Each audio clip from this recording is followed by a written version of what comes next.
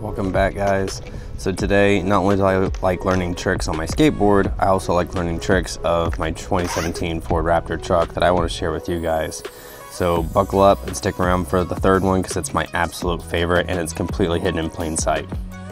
13th generation F-150. This includes the King Ranch, the Lariat, FX4, many of the other submodels, but it's mostly if you have a 2015 through 2020, I believe, 2015 through 2020 F-150, you might have some of these hidden features. These are some of my favorites inside of here. To me, this is one of the coolest features about the F-150, and this is not just the Raptor, this can be the King Ranch, the Lariat, the FX. But if you have the touchscreen in your truck, don't press the brake, press the gas, or the start button, yeah, hit the gas. You're going to hit eject and right. Just press and hold them, It'll take it about 30 seconds and you'll see the secret menu come up.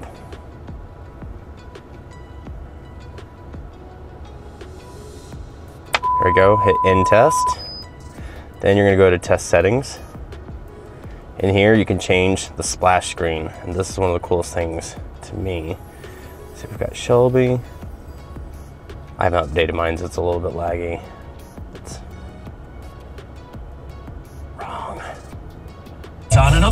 Just wow. download the free Upside app.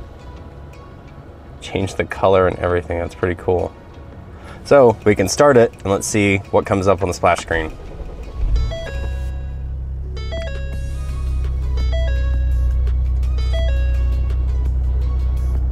I mean, 104.5. We didn't see a splash screens change, but that's still pretty nifty.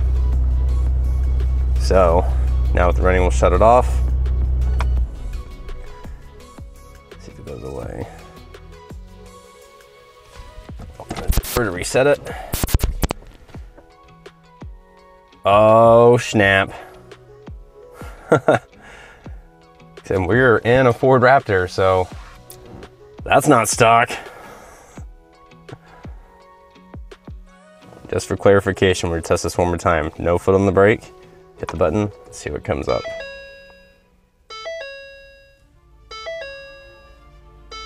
The unfortunate thing with doing this process is it always comes back to the original. So if you didn't have a Raptor or Shelby GT350, unfortunately it'll just go back to it. If you guys know how to change it permanently, you know, up to the user, let me know down in the comment section. I'd love to know for other people and for my own sake because sometimes I like the GT350. It's pretty cool looking.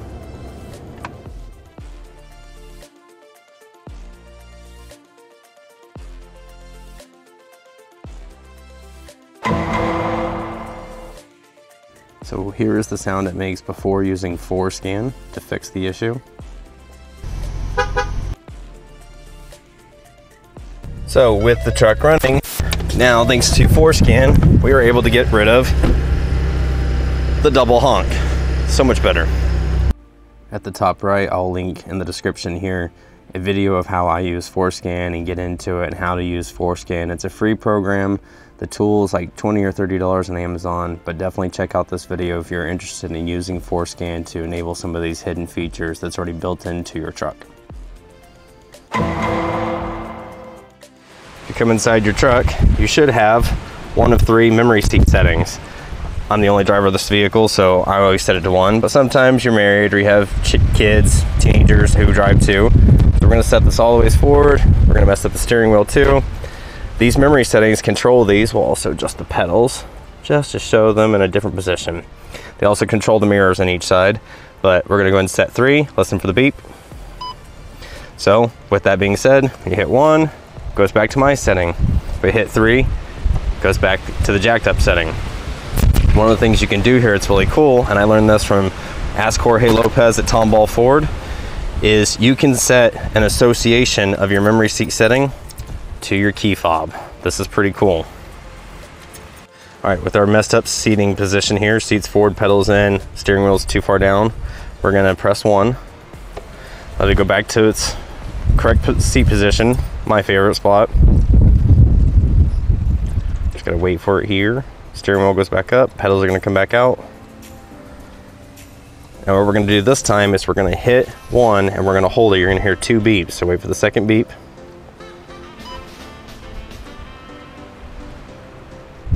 then you're gonna hit lock. That should save the memory setting there. So to test it, we'll hit three. So it goes back to jacked up, steering wheel down, seat forward, pedals in.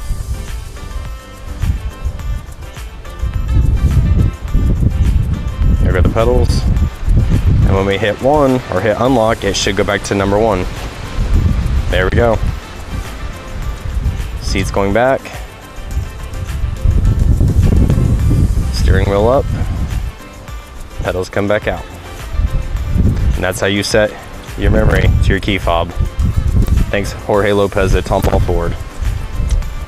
So whether you use your truck for work, play, a daily driver, or it's a pavement queen kind of thing, some of these features can be useful to you, or if you just find them nifty and you're into some of the tech gadget stuff about these trucks, there's a lot of features that are not exactly promoted by Ford, and I'll help you guys discover them if you stick around on this channel. I'm also gonna link in the description down below a playlist of all of my favorite things that I've found with my truck so far, because clearly I play with it, I enjoy it, and it's my daily driver. So thank you guys so much for watching, and stick around for the next one.